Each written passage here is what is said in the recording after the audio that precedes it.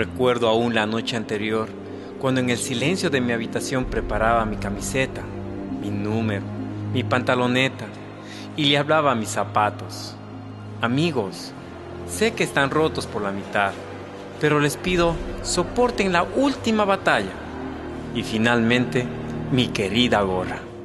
En un trayecto de 20 kilómetros, que básicamente fue mi especialidad, Existen momentos durante la primera fase, que pueden ser los 8 a 10 kilómetros, que uno hace muchos cálculos matemáticos, literalmente cálculos matemáticos. ¿Qué quiere decir? ¿A qué velocidad estoy yendo?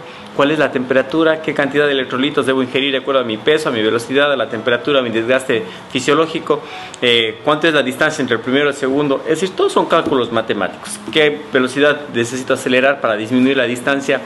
Hay una segunda fase durante todo este trayecto que ya es más emotivo eh, ¿Por qué estoy aquí? ¿Por qué estoy peleando? Eh, tengo que recordar que me motiva, que me va a permitir seguir luchando.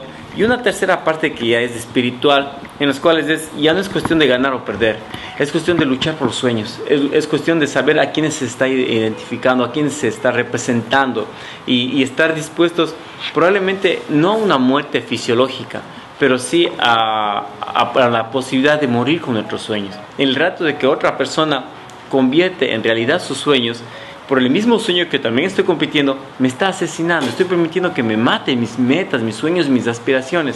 Es como luchar para evitar esa muerte. Ya no me refiero a una muerte fisiológica, sino a una muerte aspiracional. Y en ese sentido, nada tiene que ver ya la parte económica, ni social, ni política, ni, religiosa. Ya tiene que ver un ámbito espiritual netamente, cómo se surgir como seres humanos. Me di cuenta que los inmortales Chenikov y Michula estaban en mi pelotón. Y ahora el terreno donde me formé, las calles, en las que se da la verdadera pelea. No debía derramar nada de líquido.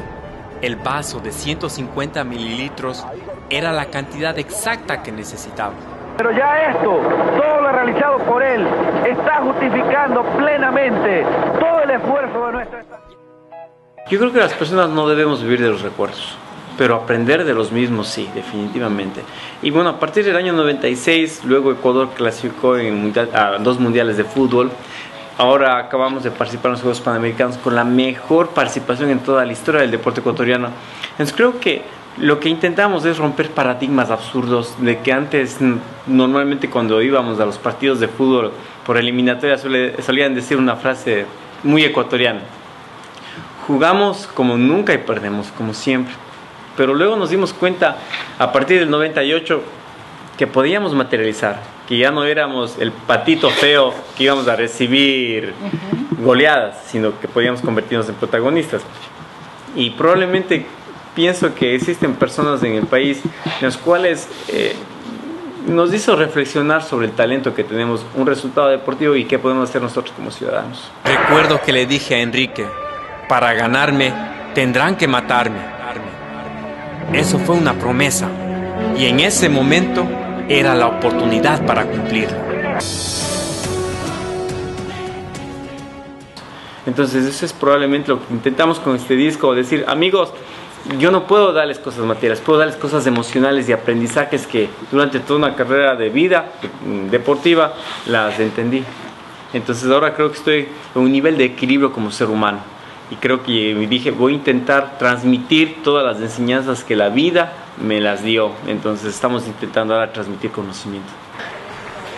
Hola amigos, quiero aprovechar para enviarles un saludo gigantesco y a la vez eh, invitarles a ser parte de este proyecto 15 años sin derecho a rendirse, en los cuales sea un instrumento para reflexionar cómo cambiar sus vidas y seguir adelante en un proceso de mejoramiento continuo. Un abrazo y hasta pronto.